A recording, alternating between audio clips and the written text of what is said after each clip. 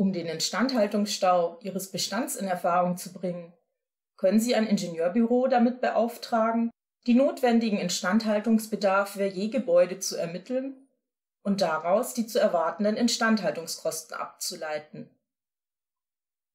Der zeitliche Aufwand hierfür beträgt pro Gebäude in etwa eineinhalb Tage. Bei einem Bestand von 200 Gebäuden sind dies insgesamt 300 Manntage.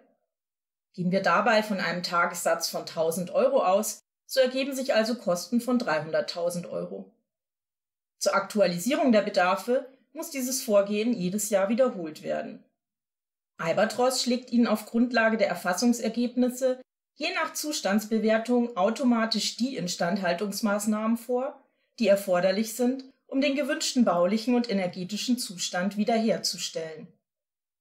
Und da im System für die einzelnen Maßnahmen außerdem Branchenpreise hinterlegt sind, erhalten Sie auch gleich die zugehörigen Kosten, sozusagen auf Knopfdruck, denn die Aktualisierung und Berechnung dieser Kosten dauert nur eine Minute.